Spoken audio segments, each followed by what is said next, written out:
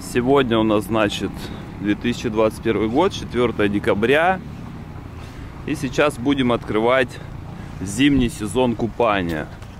Шторм прошел, и можно купаться. Погодка просто сказка. Находимся сейчас в городе Сочи, в Адлере, на Олимпийской набережной. И, соответственно, здесь же планируем купаться всю зиму. Обязательно нужно разогреваться. Мы прошли примерно 4 километра.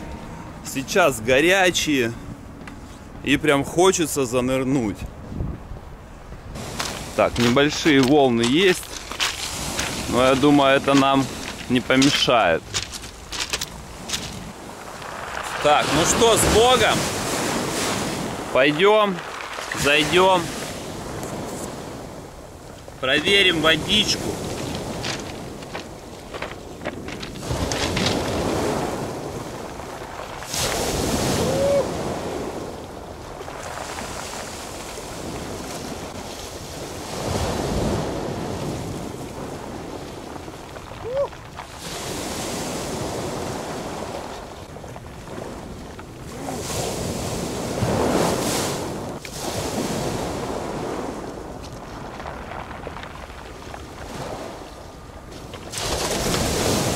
Ух, ну на первый раз пока хватит, хватит. Начнем с малого и будем потихоньку увеличивать время провождения в воде.